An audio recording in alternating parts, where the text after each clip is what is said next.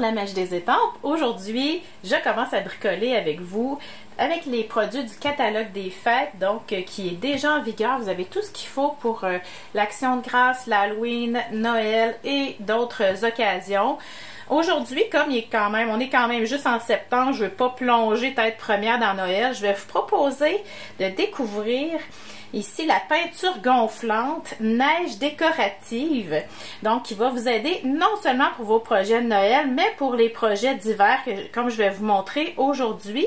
Donc, vous allez trouver ça en page 16. Si vous n'avez pas votre catalogue ici, copie papier, et que vous voulez commander avec moi, contactez-moi, je vais vous en poster un avec plaisir. Donc ici en page 16, on a les poinçons superposition de Noël qui vont ici avec un beau jeu qui a beaucoup, beaucoup de vœux de Noël. C'est vraiment génial. Moi, je vais bricoler qu'avec les poinçons aujourd'hui. Et en page 19, vous avez la peinture gonflante neige décorative. Donc, je vous conseille, vous allez tellement aimer ça, là, commandez-en deux au moins, parce que vous allez en mettre partout de la neige pour vos cartes de Noël. Alors, on se lance tout de suite. Alors, vous savez comment j'aime ancrer à l'éponge. On va faire ça. Souvent, c'est ce que je fais pour m'approprier des nouveaux produits. C'est quelque chose qui est rassurant pour moi. Alors, j'ai choisi par contre de varier, de choisir une palette euh, que j'utiliserais peut-être pas d'habitude. Alors, Souffle d'écume, qui est une couleur euh, qui fait partie des In Color, les nouvelles. Donc, les couleurs tendance. Et Pan Pimpant. qui elle aussi fait partie des In Color. Donc si vous voulez être dans les tendances, ces deux couleurs-là sont vraiment géniales.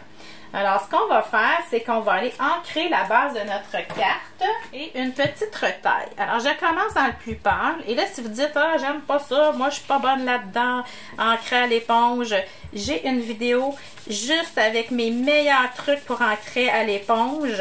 Alors là, je pars dans ma couleur la plus pâle et je m'en viens doucement à presque rien en haut une mini, mini, mini démarcation, c'est tout. Voilà, c'est pas plus compliqué que ça. Je vais essayer de vous la mettre en commentaire, euh, la vidéo avec tous mes meilleurs trucs. C'est vraiment pas compliqué. Donc, c'est sûr qu'ici, je vais mettre le plus foncé complètement en bas et m'en venir en mélangeant les deux couleurs ensemble. Et il faut qu'il reste un petit peu du bleu mauve, le plume de parme qui est tellement beau.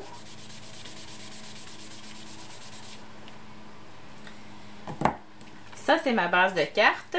Et ici, j'ai une petite retaille que je vais aller coller par-dessus. Là, je vais venir en diagonale pour changer un petit peu. Et je me garde un peu de lumière, OK? Je, je ne veux pas ancrer tout mon carton. Regardez, ma lumière, elle est ici, comme ça. Et petite note pour l'éponge, j'ai eu l'idée d'aller utiliser ma retaille dans laquelle j'ai mis, j'ai découpé euh, le feuillage que je vais euh, vous montrer à l'instant. Et je me suis dit, tiens, tiens, je vais venir ancrer ça, m'en servir comme d'un pochoir finalement. Je ne veux pas faire ça trop régulier ni trop foncé, juste un petit peu.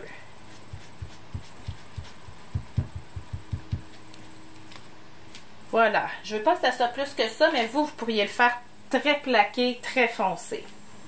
Ce que je fais ensuite, c'est simplement aller couper ma petite bande pour en avoir une plus large et une plus mince. Et je viens les coller sur ma base de carte. Faites attention, là, je, suis en train de salir avec mes doigts. Quand on encre à l'éponge, là, c'est à ça qu'il faut faire attention, là.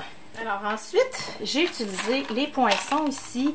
Euh, c'est vraiment pas juste pour Noël. Hein. C'est pour ça que je les ai achetés parce que, à part les flocons de neige qui font hiver-Noël, ces fleurs-là, qui ressemblent à des poinsettias stylisées, et cette petite branche-là ici, ça peut servir toute l'année. Vous avez même des, éléments euh, euh, à part ici. Donc, je trouve que c'est un achat qui va vous servir à l'année et ça, on aime ça.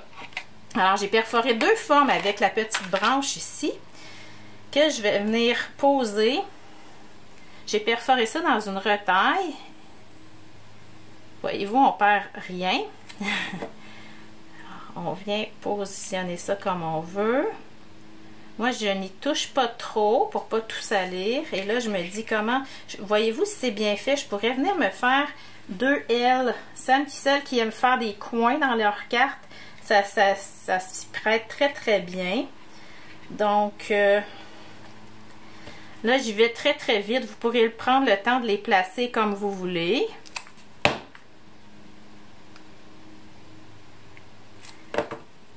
Ça fait vraiment drôle de, de faire des cartes euh, qui, avec des produits de Noël quand j'entends la tondeuse de mon voisin. Alors, petit truc ici, là, je ne veux pas tout salir et je veux que ça colle bien. Donc, je presse à l'envers et je viens couper l'excédent tout simplement. Je pourrais recoller là si ça n'a pas assez collé. Voilà. Prochaine étape, ça va être d'ancrer et d'étamper le vœu ou d'aller le gaufrer en blanc. Ici, là, j'ai pris le vœu Vive la neige. Ça pourrait être Joyeux Noël. Ça pourrait être n'importe quel autre vœu dans vos jeux. Et je l'ai gaufré en blanc, mais pour vous montrer la différence, je vais venir celui-ci l'ancrer en pimpant et vous allez pouvoir voir euh, la différence. Celui que vous préférez dans le fond.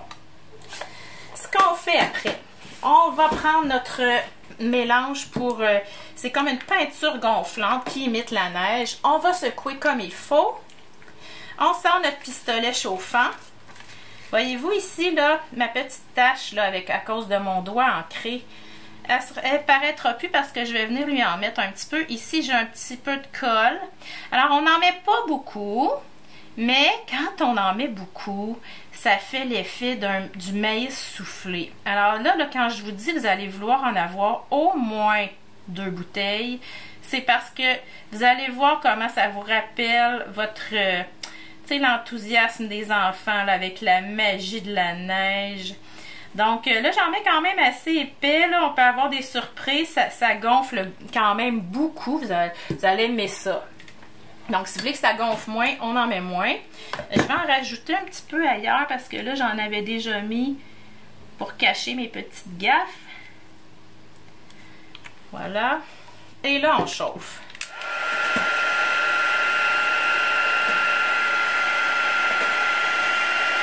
Je sais pas si vous avez pu voir, mais ça gonfle vraiment.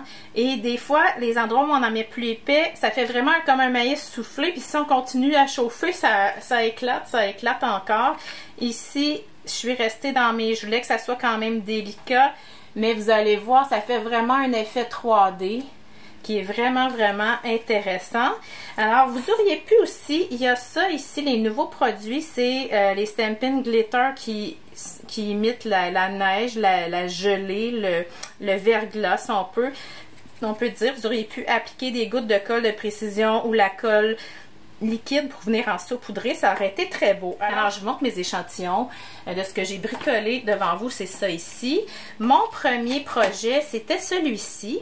Donc, j'ai utilisé les flocons avec le même set de poinçons qui sont très jolis et mon enveloppe qui est coordonnée. Et puis, j'ai décidé de changer de palette. Alors ici, j'ai été dans Tomette et puis euh, Cuvée de Cassis. J'aime ça beaucoup. Ce que j'aime là-dedans, voyez-vous, ça a vraiment explosé à certains endroits. là. Ce que j'aime là-dedans, c'est que ça peut faire une carte euh, de Noël, mais ça peut faire, faire aussi une carte tout usage de sympathie, je pense à toi.